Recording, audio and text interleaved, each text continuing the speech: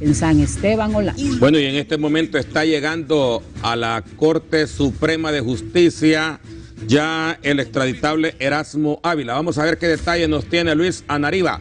Buenos días, Luis Anariba.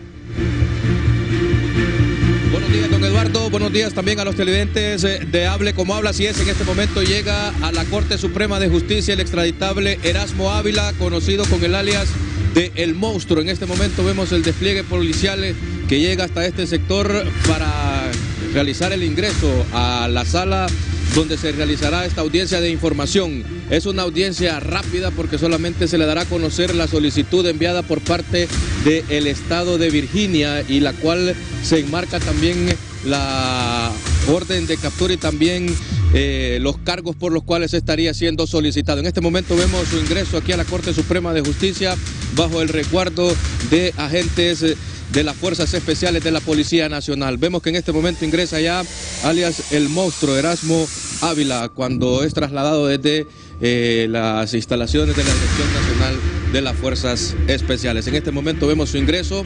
Eh, recordemos que estos procesos pues, son desarrollados por un juez eh, natural que se designa, ya hay un orden establecido por parte de la Corte Suprema de Justicia.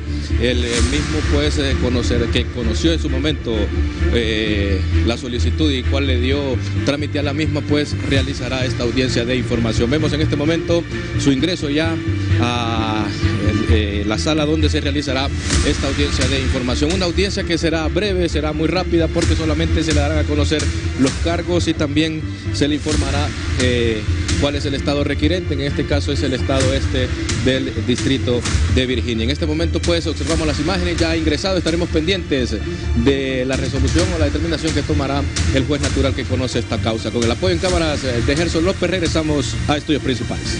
Muchas gracias Luis.